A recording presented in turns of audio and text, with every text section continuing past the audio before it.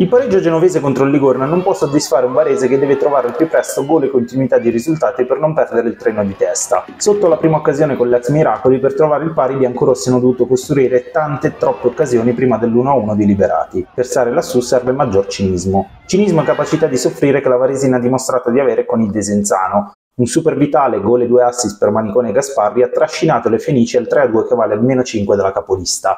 A Legnano sembra funzionare la cura Zattarin, ma la Goda al dischetto e Becchi di testa piegano il Ponte San Pietro per la seconda vittoria consecutiva senza subire reti. Sconfitta indolore per la Castellanzese che cede la corazzata pro Palazzolo ma continua a dimostrare ottimi segnali di crescita dopo un avvio difficile.